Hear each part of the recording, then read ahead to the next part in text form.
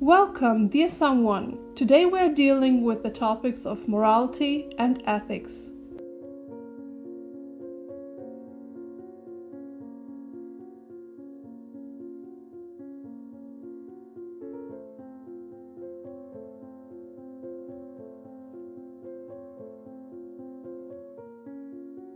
Morality is when you ask yourself if a decision is right or wrong.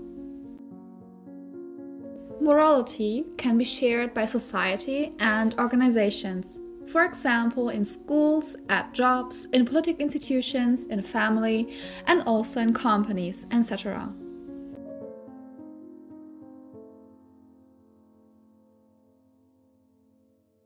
Ethics is the science of morals.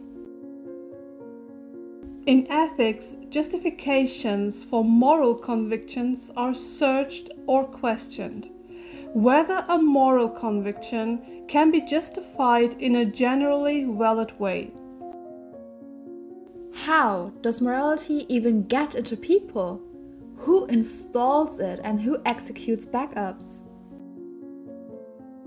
Small children cannot yet distinguish between good and evil Surely there are some innate alarm systems. Everything must be learned and updated gradually. Parents play the biggest role at first because they have to teach them norms. Routine solidifies the child.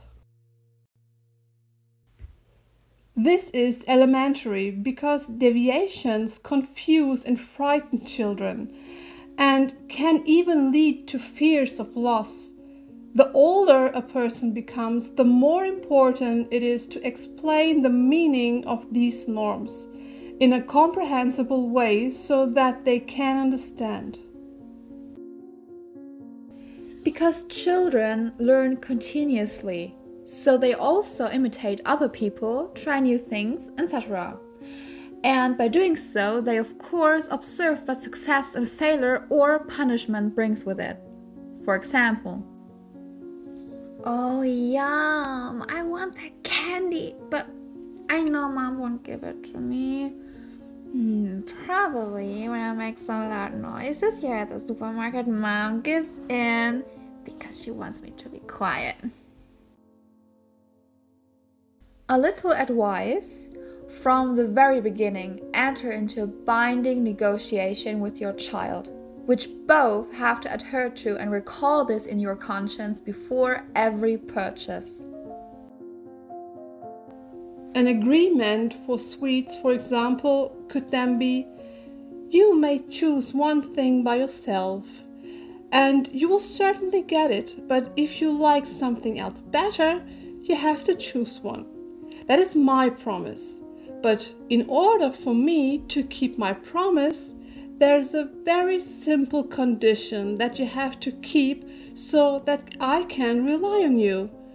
You also have to promise me that you will not scream, whine, or beg in the store. If you do it anyway, you will get nothing. So it is your decision. Of course, you need time until the little creature has really understood and internalized this promise.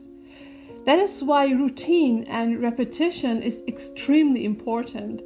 As soon as, this, as the children see that parents keep their promises, they become aware of their own promise. According to the motto, Oops, there was something. I shouldn't beg. Otherwise, I won't get my jellies. And by doing so, they learn that they do not have to make a fuss to get anything. And at some point, you can even animate children to help with the shopping list and keep them busy. Now, you will probably think that the little ones cannot read a shopping list after all. And that's right at first, but until they learn, you can make them draw their own shopping list while you write your own, so that the kids are actively engaged in shopping even before going to the store and subconsciously recall their own promises. After all, they are allowed to draw their own wish on the list.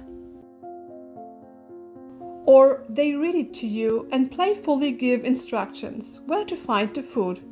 With such little things, the sense of responsibility and the ability to concentrate is also promoted. And shopping is fun again. Concentration and occupation finally lead to the fact that they have no more time to think about begging.